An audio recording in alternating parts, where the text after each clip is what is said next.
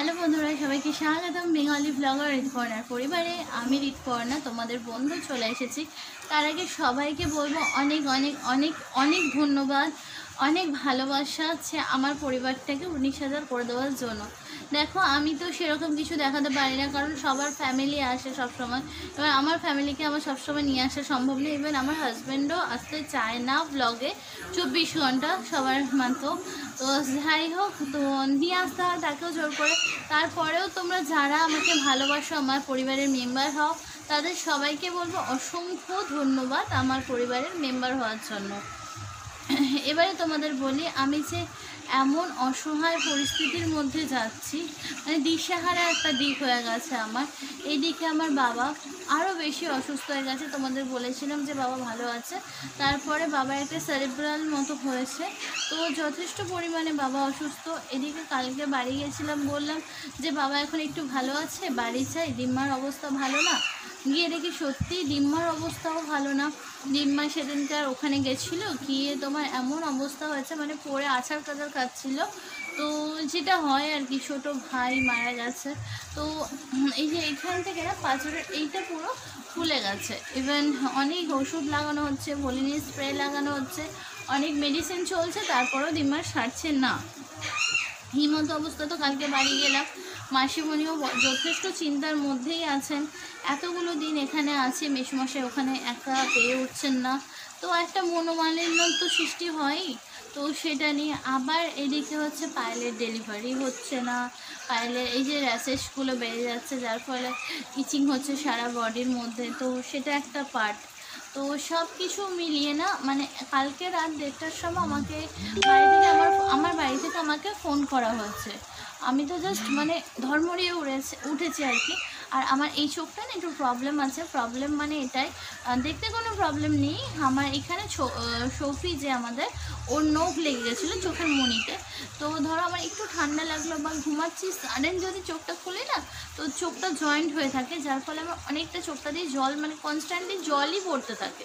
চোখটা খুলতে পারি না, আর কনস্ট্যান্টলি জল পড়ে। তো কাল রাত দেড়টার সময় বাড়ি থেকে ফোন গেছে। শুভমায় দেখছে গিয়ে গিয়ে ফোন বাজছে।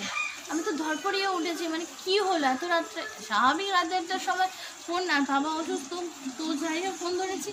তখন বাড়ি থেকে সবাই বলছে যে, দেখ, তোর বাবা কান্নাকাটি করছে, তোকে বলছে তেজপাতা তোর পিঠের উপরে ফেলে, তোকে কেউ মারছে, তোকে ওরা মেরে ফেলছে, তুই চলে গেলি, তুই বাবার সাথে কথা বল। তা বাবাকে বলছিলাম বাবা, কিরম করো না আমি আসছি সকালে, তো সকালে এসেছি। ব্যালকনি ডক্টরের কাছে যাওয়ার ছিল। ডক্টর না ডক্টর বলে দিয়েছেন, যেহেতু ডেলিভারি ডেট বলে দিয়েছে ফাইনাল হয়ে গেছে। বাট আমি আর তোমাদের সাথে শেয়ার করছি না, কারণ বারবার শেয়ার করি ক্যান্সেল হয়ে যায় তো। তো সেই জন্য ওকে ডিসপোজাল ইঞ্জেকশন দেওয়ার ছিল, তো সেটাই ওকে দেওয়াতে নিয়ে গেছিলাম। তো বাবার অবস্থা দেখছি আরও খারাপ হয়ে গেছে। এখন তো মানে যথারীতি প্রচণ্ডই খারাপ।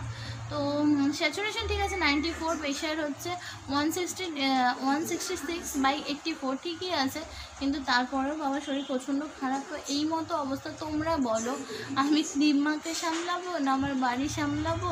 না আমি কী করব? তো কালকে আমাকে আবার এখানে চলে আসতেই হবে। তো আমি যেখানে বাড়িটায় ভাড়া থাকি না, সেই আন্টি বলছিল যেটি ভার্গি যে কিছু তো করার নেই দাও তোমাকে ব্যালেন্স করে চলতে হবে। তবে হ্যাঁ এটা ঠিক যে আমার বাড়ির সবাই খুবই ভালো। দুই বাড়ি, আমার বাবার বাড়ি শ্বশুর বাড়ি, তাদের কোনো আমাকে নিয়ে অবজেকশন নেই। তবু আমার তো এই মতো ইচ্ছা করছে আমি আমার দিদি শাশুর পাশে থাকি আমার মেয়ে হিসাবে ইচ্ছা করছে আমি আমার বাবার পাশে থাকি। তো জানি না কি করব, কতক্ষণ এইভাবে চালাতে পারব, তবে কালকে আমাকে এখানে এসে থাকতেই হবে। তো দু তিন দিন আমার আমার কি এখানেও থাকতে হবে এই যে শুভটা তো সব কিছু নিয়ে না দিশেহারা হয়ে গেছে। যাই হোক ব্লগটা কালকে থেকে শুরু করেছিলাম, একটুখানি করেছি, কারণ এই মতো অবস্থা না আমি দিম্মাদের সাথে তোমাদেরকে দেখা করাতে পারছি না, কারণ এতটাই বাড়ির, ওই বাড়ির অবস্থা খারাপ। তো যেটুকু করেছি, দেখে নাও যা করেছি। ভালো লাগলে লাইক করো। কিছু তো বলে নেই, সেরকম কিছু করতেই পারছি না। তবুও আমার বন্ধু সব থেকে কাছের বন্ধু তোমরা, আর আমার পরিবারের সবাই, তোমরাও আমার পরিবার। তো তোমাদেরকে না জানালে তোমরা অনেক বড় দিদি দাদারা আছো। বিশেষ করে আমার দিদিরা অনেক আমাকে সাজেস্ট করে, এটা না, এটা করো। তুমি এই সময় এই করাটা উচিত। তো তোমরা বলে দাও আমি কী করব। আজকে তোমাদের কাছে আমার প্রশ্ন থাকবে তো চলো তোমরা ব্লগটা দেখে না আমি মেয়ের কর্তব্য করব না বাড়ির বউয়ের কর্তব্য করব? তো চলো ব্লগটা দেখে নাও, তারপরে আসছি। সত্যি বুঝিনি এরকম একটা মানে বাজে পজিশনের মধ্যে এসে আমার জীবনটা আটকে যাবে। তো ভগবান একজন কাউকে ভালো রাখুক, দুই বাড়ির সবাই খারাপ। তো চলো দেখে নাও ব্লগটা দেখো আমি ফাইনালি বাড়ি চলে এসেছি। আর অনেকেই ডিম্মাকে দেখতে চেয়েছো তো আমি ডিম্মাকে দেখাবো। ডিম্মা এখন বাইরে বসে আছে তো ডিম্মা আসুক ভেতরে তারপরে তোমাদেরকে দেখাচ্ছি। আর এখানে দেখো আমার দুই সুন্দরী খেলছে। এই দেখো দুজন এখন খেলে যাচ্ছে। আর এই যে দেখো পাবজি মাস্টার। খালি গায়ে এখন শুনতে পাচ্ছে না। এই যে পাবজি মাস্টার এখানে খেলছে দেখেছ? কান থেকে হেডফোনটা খুলে দিয়েছি এবার শুনতে পাচ্ছে হয়তো। আর আমি চলে এসেছি তো একটু পরে আবার তোমাদের সাথে আমি কথা বলছি। তো বন্ধুরা, এখন আমরা সবাই মিলে চা খাচ্ছি আর সবাইকে দেখাতে পারলাম না। শুধু চাটাই তোমাদেরকে দেখালাম। তো চলো পরে কথা বল তো সেই সন্ধ্যাবেলা একটুখানি ভিডিও বানিয়েছিলাম। তারপরে আর বানাতে পারিনি। এখন বাজে হচ্ছে রাত পনেরো দশটা। তো এই জাস্ট আমি দিম্মার বাড়ি থেকে এই বাড়ি এলাম। আসলে দিম্মার অবস্থাটা এতটাই খারাপ যে আমি তোমাদের সাথে শেয়ার করতে পারছি না।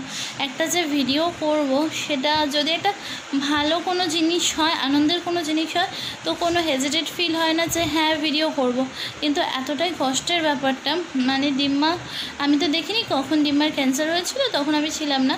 কিন্তু তারপরেও আমার দিম্মা যথেষ্ট স্ট্রং ছিল। বাট আজকে দিম্মাকে দেখছিলাম, আসার পরে আমি স্পেশালি দিম্মার জন্যই চলে এসেছি। কারণ এখন যেহেতু পায়েলের দেরি আছে সোমবার।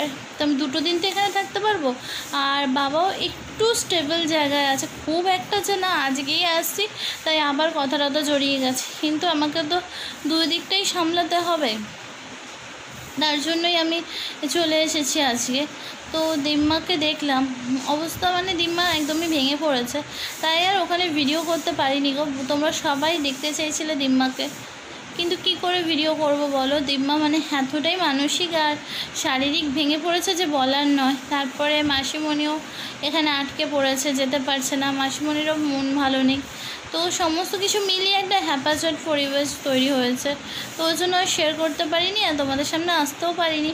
আর তখন যখন ভিডিওটা করেছিলাম, তখন ওরা বাইরে বসেছিল। বিকেলবেলাটা বারান্দা রক টাইপের একটা আছে, রাস্তার উপরে সবাই আসে। তো ওই জন্য ওখানে সবাই বসেছিল। আমি, বোন, ভাই সবাই ঘরে ছিলাম। তাই একটুখানি ভিডিও করতে পেরেছি। আর এখন ডিম্মার বাড়ি থেকে ডিনার করে চলে এসেছি। তো ডিনারে ছিল হচ্ছে আজকে আলু মাখা, পেঁয়াজ দিয়ে, রুটি, এঁচড়ের তরকারি আর একটা পান্তো আর একটা কালো মানে চৌকো টাইপের একটা কোনো মিষ্টি ছিল। তো ওটাও আমি তোমাদের সাথে শেয়ার করতে পারিনি। আজকে এই বেলাটা এইখানে কাটলো। আবার কাল সকালে আমি আর শুভ চলে যাব বাড়ি। কারণ বাবার অবস্থা ভালো না। বোবাই মানে ভাই তো সারা রাত জাগে। সকাল থেকে আবার মানে ঘুমায়। কারণ সাত, আটটা, নটার দিক থেকে ও ঘুমাতে যায়। যখন সবাই উঠে সম- সমস্ত কাজ হয়ে যায়, তারপর সবাই যখন বাবাকে দেখতে পারবে, এরকম সময় থেকে ও যায় শুতে। তো আমাকে শুভকে যেতে হবে, কারণ পায়েল কিছুই করতে পারছে না। আমি তো একা যেতে পারব না, শুভকে আমাকে নিয়ে যেতে হবে। আবার বিকেলে দিম্মার কাছেই চলে আসব। এবার যদি সানডেতে ফাইনাল মা হচ্ছে ফোন করবে ডক্টরকে ডক্টর যদি বলে যে হ্যাঁ মনডে পারলে ডেলিভারি হবে মানে চাইল্ড স্পেশালি স্পেশালিস্ট এসে গেছেন, তাহলে আমি রবিবার থেকে থাকব। কারণ বাবাকে মেডিসিন দেওয়ার ব্যাপার আছে পায়েলই পুরোটাই করে মেডিসিনের ব্যাপারটা পুরো পায়েলের উপর। ও দিয়ে দেয় বাবাকে। তো সেগুলো আমাকেই করতে হবে। মানে এতটা খারাপ পরিস্থিতির মধ্যে এদিকে বাবা এই অবস্থা, এদিকে ডিম্মা মানে এদিকে শ্বশুরবাড়ি, এদিকে বাপের বাড়ি। শ্বশুরবাড়ি যথেষ্ট ভালো, তারা আমাকে একবারও আটকাচ্ছে না যে, না, তুমি বাবার কাছে যেও না। বাপের বাড়ি আমার যথেষ্ট ভালো, তারাও বলছে, না, বাবাকে এই অবস্থায় ফেলে কেন যাচ্ছ? কিন্তু আমি নিজে বুঝতে পারছি না, আমি কি করব। মানে এতটা একটা বাজে পরিস্থিতির মধ্যে ভগবান আমাকে ফেলেছে। একদিকে আমার বাবা, একদিকে আমার দিদি শাশুড়ি। তো যাই হোক বন্ধুরা, চলে এসেছি বাড়ি কিন্তু স্ট্যান্ড ট্যান্ড কিছু আনতে পারিনি। কারণ মাথায় ছিল না আসার সময়, বাবার অবস্থাটা আজকে একদমই ভালো ছিল না। জিপ টিপগুলো জড়িয়ে যাচ্ছিল। তো যাই হোক, ওই জন্য চলে এসেছি। জানি না কতটা তোমাদের সাথে শেয়ার করতে পারব বা কালকে কী, তবে চেষ্টা করব শেয়ার করার তোমাদের সাথে। আর সকালবেলা ঘরটর মুছে নেব। তো ওখানেই সবাই বলল যে কালকে আমাদের বাড়িতেই খেতে। তো শুভ বছর এই রান্না করে নাও, দিয়ে একবারে নিয়ে চলে যাও। সব সময় শ্বশুরবাড়ি খাওয়া। তো সবাই বলছে, এখন দুটো দিন খা, তারপর যখন তুই এক সপ্তাহ এসে থাকবি, শুভকে বলিস তখন ওর যদি খারাপ লাগে। না আসলে না আসবে, আর যদি আসে তো খাবার নিয়ে আসতে বলিস। তো এখন জানি না কি করব, যাই হোক। অবশ্যই তোমাদের সাথে শেয়ার করব। এই জাস্ট ফিরলাম টয়লেট করে মুখ হাত পা ধুয়ে এসে তোমাদের সাথে কথা বলছি। তো এখন শুভ বিছনা করে নিই তারপরে তোমাদেরকে গুড নাইট বলে দেবো। যে আজকের মতো বিদায় নেব। আজকে আদা যে তেলটা বানিয়েছিলাম, ওটা নিয়ে চলে গেছিলাম আগের দিন। কারণ ওটা ওখানে লাগাবো বলে। তো লাগানো তো হয়নি এরকম পরিস্থিতির মধ্যে। আর তারপরে ওটা হানিও নি, ভুলে গেছি সমস্ত কিছু। ইভেন জামা কাপড়গুলো ইচ্ছা করে রেখে এসেছি যে যাব তো আবার বইবো। তো ওই জন্য আর কোনো হেয়ার কেয়ার কিছু হবে না। এখন মশারিটা টাঙানো হয়ে গেলে ঘুমিয়ে পড়ব। আবার সকালে উঠতে হবে। সমস্ত বাসি কাজ টাজ করে ঘর গুছিয়ে তারপরে আবার ওই বাড়ি যাব। তো চলো আজকের মতো গুড নাইট আবার কাল সকালে দেখা হবে। আজকে হচ্ছে শনিবার, সকালবেলা। আর আমাকে দেখে বুঝতেই পারছ, আমি টান করে একদম তোমাদের কাছে চলে এসেছি। তো এখন আমি সিঁদুর টিঁদুর পরে ফ্রেশ হয়ে নিয়ে তারপর ঠাকুর দেবো যদিও আমার স্ট্যান্ডটা নেই, তো আমি জানি না কতটা আমি তোমাদের সাথে শেয়ার করতে পারব। আর সমস্ত বাসি কাজ হয়ে গেছে, সমস্ত কিছু ক্লিন করে ফেলেছি। তো চলো দেখাই একটুখানি সব। ঘরদোর পরিষ্কার, বিছানা গোছানো হয়ে গেছে, সব হয়ে গেছে। এখন শুধু চেঞ্জ করব। তারপরে আবার বাপের বাড়ি যাব, তার আগে দিম্মার সাথে একটু দেখা করব। তো চলো আমি একটু সিঁদুর টিঁদুরগুলো পরে নিই পরে নিয়ে তারপরে তোমাদের সাথে কথা বলছি। তো চলে এসেছি আমি হচ্ছে সিঁদুর পড়তে কিন্তু আমি জানি না আমি কতটা শেয়ার করতে পারব, কারণ আমার এখানে যেহেতু স্ট্যান্ড নেই, তো আমার খুবই অসুবিধা হচ্ছে তোমাদের সাথে শেয়ার করতে। তো একটু দাঁড়াও। দেখছি পাশে কিনা শেয়ার করতে।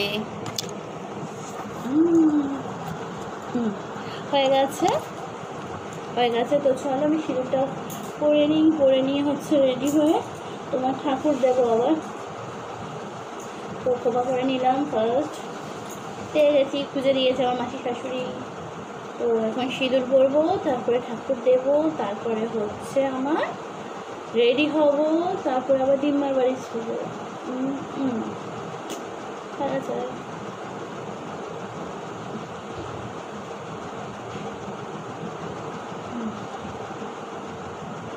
হচ্ছে না ভালো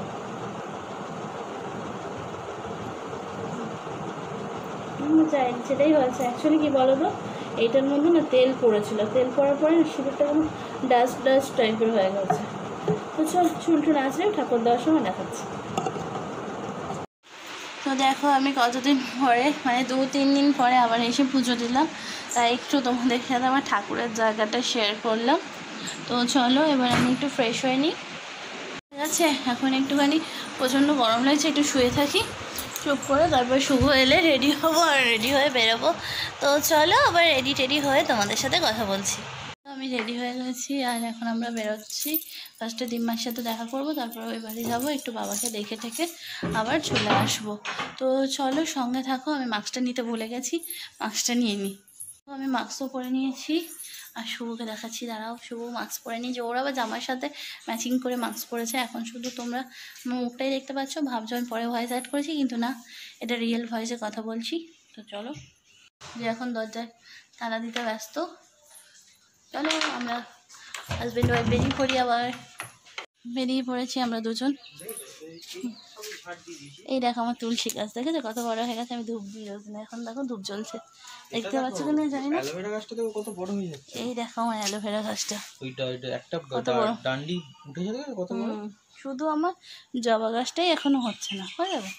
আমাদের ওইদিকে একটা তুলসী গাছ দেখেছ? ধূপ জ্বালিয়েছি। তো চলো, বেরিয়ে পড়ি। তো এত রোদ, যার জন্য আমি এইভাবে প্রোটেকশন নিয়েছি। এতে আমি শুভ দুজনেই গাইড হয়ে গেছি। বাট তোমাদের শুভকে দেখাতে পারছি না, কারণ ওইভাবে দেখালে আমি পুরো ইয়ে হয়ে যাব। তো ওই জন্য হেভি মজা করে করে আমরা দুজন এসেছি। খুবই মজা হয়েছে। বেশ অন্যরকম একটা ফিলিংস হয়েছে। তো চলে যাই, বাড়ি গিয়ে কথা বলছি বাড়ি চলে এসেছি, অনেকক্ষণই এসেছি বাট শ্যুট করা হয়নি। আর এখন আমি যাব হচ্ছে পায়েলকে নিয়ে ইঞ্জেকশন দেওয়াতে। তো ওর আজকে আবার বলেছে ওকে একটা ইঞ্জেকশন দেওয়াতে। তো এর মধ্যেই হয়তো ডেলিভারি হবে, আমরা জানি কবে হবে, আর আমি তোমাদের সাথে শেয়ার করব না, কারণ বারবারই ওর হওয়ার কথা হচ্ছে না। তো যদি ফাইনালি হয়, অবশ্যই তোমরাও দেখতে পাবে। তো ওই জন্য ওকে আজকে যাচ্ছে একটা ইঞ্জেকশন দেওয়াতে, এই যে বসে আছে, দেখতে পাচ্ছ। আর ওর এখন প্রচণ্ডই শরীরটা খারাপ মানে শরীরটা খারাপ বলতে কোনো পেন না, কিন্তু ও আমাকে দেখাল ওর চুল কাটছে সারা গাটা এমনভাবে, যে ওর পায়ে পুরো র্যাশেস মানে র্যাশেস কি আমি দেখাচ্ছি, দাঁড়া। কাল পাটা দেখা তোর কী হয়েছে? পায়ের অবস্থাগুলো জাস্ট চুলকে চুলকে এরকম অবস্থা হয়েছে। দেখতে পাচ্ছ? পুরো কেটে গেছে, দেখো। সারা পা, দেখো কি অবস্থা। তাও ক্যামেরা অতটা আসছে না। খুবই খারাপ সারাক্ষণ মেয়েটা চুলকে যাচ্ছে। তো এখন যাচ্ছি ওকে নিয়ে ইঞ্জেকশন দেওয়াতে। তো চলো, আসি ঘুরে, তারপরে এসে আবার তোমাদের সাথে কথা বলব। তো আমরা বেরিয়ে পড়েছি আর এখন আমরা যাচ্ছি। আর ও এখন আমি ভিডিও করছি দেখে ও ওড়নাটা নিতে গেছিল। আমি ওকে বললাম, ছেড়ে দে, কোনো ওড়না নিতে হবে না। সবাই জানে তুই অসুস্থ, তাই তুই যেমন আছিস তেমনই থাক। তো দেখো বন্ধুরা, ওদেরকে, ওকে ইঞ্জেকশন দিয়ে আমাদের হয়ে গেছে, আমরা এখন ফিরছি। আর আমরা আমি খাচ্ছি হচ্ছে চকোবার ফ্রুটের নাটের আর পায়েল খাচ্ছে হচ্ছে বাটারস্কচ আর আমাদের যত দুঃখ হোক, মনে যত কষ্ট হোক, আমরা খাওয়াটা ঠিক চালিয়ে যাই। তো সেই জন্য আর খাওয়ারতেই তো জীবন, বলো? সবাই যা করে খাওয়াটুকুর জন্যই। তো চলো আমরা বাড়ি যাই, বাড়ি গিয়ে আর কথা বলছি। পায়েলের ইঞ্জেকশন ছিল, তো ওকে দেওয়া হয়ে গেছে। আর এখন মজা করে খেতে খেতে আমরা বাড়ি ফিরছি। আজকের ব্লগ আর বেশি কিছু তোমাদের সাথে শেয়ার করার নেই। প্রে করো, বাবা ভালো হয়ে যাক। প্রে করো, দিনমা ভালো থাকুক প্রে করো পায়ে যেন সুস্থভাবে বেবি নিয়ে বাড়ি ফিরে আসে। তো সমস্ত কিছু তোমাদের জানালাম, বললাম। তোমরা ছাড়া কাকে বলব বলো? এখন আমার পরিবার, তোমরা তো তোমাদের সাথে আমার পরিবারের সমস্ত কথাগুলোই শেয়ার করা আমার মনে হয় উচিত। লুকিয়ে কী হবে? আর বললে বরং মন হালকা হয়। তো সেটাই, আমি সত্যি দিশাহারা হয়ে গেছি। আমি কাদের সময় দেব, কি করব এদিকে আমার বরটা? দিম্মাকে তার জন্য এত পেন নিয়েও রুটি করতে হচ্ছে। মাসিমণি আসবেন, মাসিমণি পারে না, তো দিম্মাকে করতে হচ্ছে। তো যাই হোক অনেক ভালো, অনেক লাকিলি অনেক কপাল ভালো যে এরকম শ্বশুরবাড়ি আর এরকম বাপের বাড়ি পেয়েছিলাম। তো যাই হোক বন্ধুরা, আজকের ব্লগটা আমি এখানেই শেষ করব। তো তোমরা ভালো থাকো, সুস্থ থাকো, আর নিজেদের খেয়াল রাখো, আর যদি আমার পরিবারে নতুন হয়ে থাকো প্লিজ এই পরিবারের মেম্বার হয়ে যাও।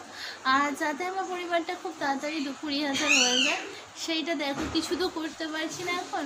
আশা করি এই সময়গুলো ঠিক পেরিয়ে যাবে, ভালো সময় আমার জীবনেও আসবে, আমরাও ভালো থাকব। তো চলো, এই বলে আজকের মতো বিদায় নিচ্ছি। মানে হয়তো তোমরা ভাবছ যে আমি ব্লগ করছি, বলছি, বলতে তো হয় কাউকে কথাগুলো। তোমাদের সাথেই নয় শেয়ার করলাম। হ্যাঁ ক্যামেরাটা, ক্যামেরাই আমার বড় বন্ধু, কারণ এর থ্রু দিয়ে আমি তোমাদের কাছে পৌঁছাই। আমার ক্যামেরা বন্ধুকে বললাম। তো চলো, আজকের মতো বিদায় নিচ্ছি। সবাই ভালো থাকো, সুস্থ থাকো। আমার পরিবারের সবাই যেন ভালো থাকে, এটাই আমি চাইব। হাত বারবার স্যানিটাইজ করো, নিজেদের খেয়াল রেখো, সাবধানে থেকো। ঘর থেকে বেরিয়েও না খুব দরকার না হলে।